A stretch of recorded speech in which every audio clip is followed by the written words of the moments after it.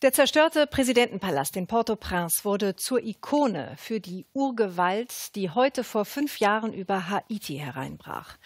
Als damals um 16.53 Uhr Ortszeit die Erde auf der Karibikinsel plötzlich erzitterte und bebte, knickte selbst dieses vermeintlich robuste Bauwerk zusammen wie das sprichwörtliche Kartenhaus. Wer konnte, floh ins Freie. Doch mehr als eine Viertelmillion Menschen starben damals auf Haiti.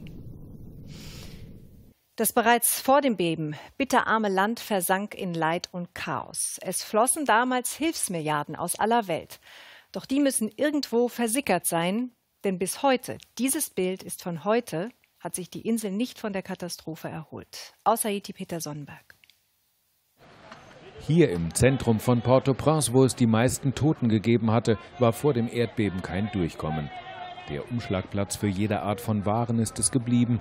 Angeblich werden auf der stinkenden und vor Dreck starrenden Grand Rue 90 Prozent des Handels der ganzen Stadt abgewickelt.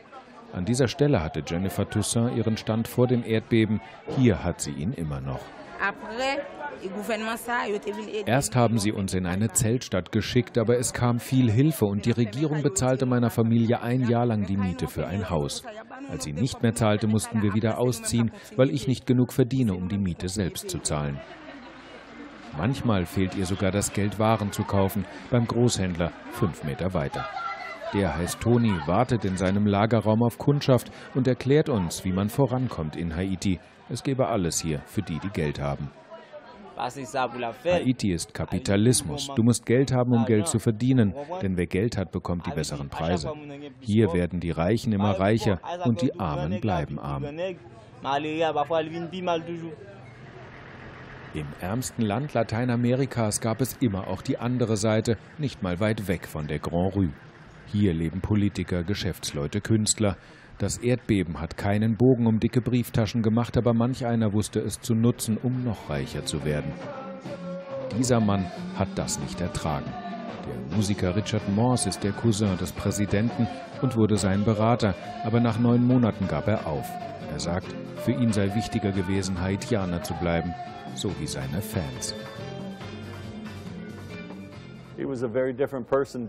Er war ein anderer Mensch, bevor er Präsident wurde.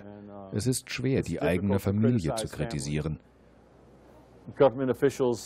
Aber der Präsident hat gemerkt, dass man viel Geld verdienen kann, wenn man kein Geld in Katastrophenschutz steckt. Wenn die nächste Katastrophe kommt, kommen auch wieder die Hilfsgelder. Aber das Problem ist, dass mit dieser Regierung das Geld uh, nie bei den Opfern ankommt. But the problem with the aid money is that it never gets to the people who were flooded.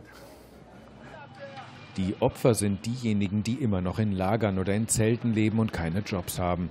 Sie demonstrieren seit Monaten gegen die Tatenlosigkeit und die Korruption innerhalb der Regierung, wollen, dass der Präsident geht.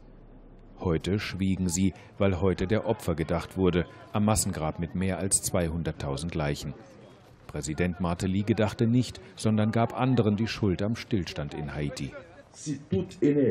Was habt ihr die ganze Zeit gemacht? Anstatt bei euren Demonstrationen alles kaputt zu schlagen, hättet ihr eure Energie in die Hilfe, in Fortschritt und Stabilität stecken können, dann ginge es unserem Volk heute besser. Aber das Volk in der Grand Rue braucht endlich einen, der Verantwortung übernimmt, einen, der das Geld, das im Land ist, in Infrastruktur steckt und der es mehr Haitianern ermöglicht, ihren Lebensunterhalt selbst zu verdienen.